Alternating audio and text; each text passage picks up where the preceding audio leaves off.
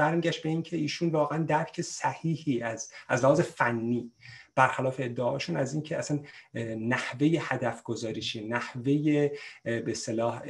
کسب اعتبار از طرف بازار برای رئیس بانک مرکزی چگونه هست اصلا این توانایی ها ایشون واقعا ندارن و کاراشون از لحاظ چیزی که من دیدم واقعا همیشه از جنس هوچیگری و دروغگویی بوده متاسفانه. و این خیلی سخته. یعنی برای من قابل تصور نبود که کسانی بتونن فرض کنید از و ما ایران در ایران یک رئیس بانک مرکزی داشته باشیم که فرض کنید از آقای بهمنی زمان آقای احمدی نژاد از اون بدتر باشه. و حالا برای من اصلا واقعا قابل تصور نیست کسی که همچین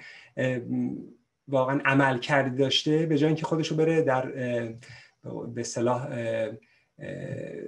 در بانک مرکزی ساکت بشینه و گم و گور بکنه خودش رو در پستوهای بروکراتیک. حالا اومده ایشون خودشون رو به عنوان نماینده مثلا قشر حالا اصلاح طلب یا هر چی که هست عرضه می‌کنه برای ریاست جمهوری